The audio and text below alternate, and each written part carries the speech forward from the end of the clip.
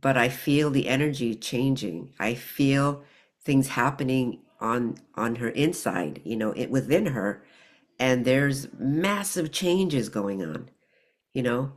Um, and so even though the outside is still looking like this kind of disheveled person who's dysregulated and you know bothered by all these energetic changes and waves and other people's energy, there's something inside that's telling me no, it's not the same anymore.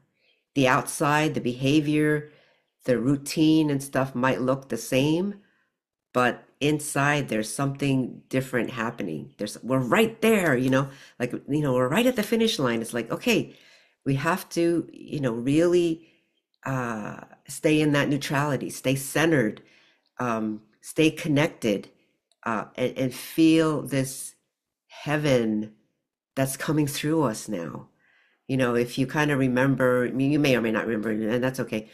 But um, I had talked about maybe a couple of years ago uh, about the this guy Neil Douglas Klotz, I think his name was. He wrote the Aramaic Jesus book, you know, and his from the Aramaic language in translating the um, uh, the Lord's Prayer, you know, uh, it, ha- it has a different kind of flavor to it. And so, um, from what I remember, his his interpretation, you know, again, it's my interpretation of his interpretation, but essentially that the Lord's Prayer was about um, staying connected, staying connected, and reminding ourselves every day that the reality is the heaven where we, where we originally are from, you know, and this this is the reality. And so we connect with that bring it in to our beingness every day to remember that um, and that's what it's all about. And that's how we create again that sense of heaven on earth that it's our inner world that creates the outer world. And it's it's not the outer world that you know dictates what reality is. And this is what we've been used to is the outer world telling us how things are and what reality is.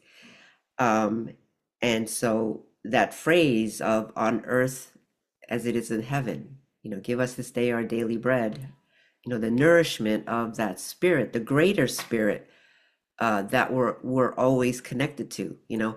And so um, that's the idea of we're right at the finish line. We're like, you know, and does that mean tomorrow, next year? You know, I, I'm hoping not more than next year or two years from now, you know, I don't know, but um uh but we're we're right there.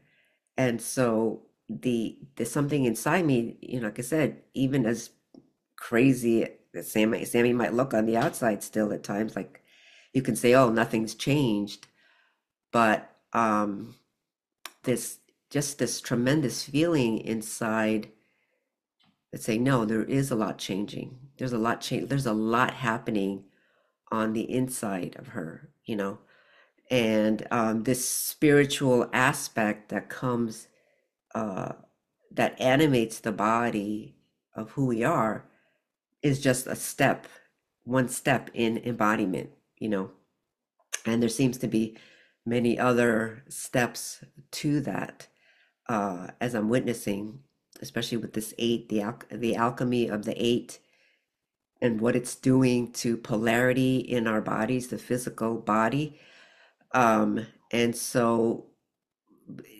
becoming easier then to to hold this uh, spirit within us, and then that will translate into our changes, you know, and it may be with our own change first, you know, and our own um, the reality that's ar- immediately around us first, you know, but then as more people are able to, um, uh, I guess I don't know if surrender is the right word, but it's more like just just being it, where it's just easy. You don't have to think so hard about surrendering because that overwhelming sense within. Uh, is just getting stronger and stronger to um, you know not believe that what's on the outside is the reality